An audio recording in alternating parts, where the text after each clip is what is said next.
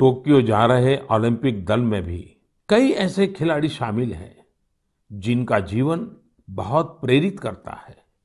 हमारे प्रवीण जाधव जी के बारे में आप सुनेंगे तो आपको भी लगेगा कि कितने कठिन संघर्षों से गुजरते हुए प्रवीण जी यहाँ पहुँचे हैं। प्रवीण जाधव जी महाराष्ट्र के सातारा ज़िले के एक गाँव के रहने वाले हैं। वो आर्चरी के बेहतरीन खिलाड़ी हैं। उनके माता पिता मजदूरी कर परिवार चलाते हैं और अब उनका बेटा अपना पहला ओलंपिक्स खेलने टोक्यो जा रहा है। ये सिर्फ़ उनके माता पिता ही नहीं, हम सभी के लिए कितने गौरव की बात है।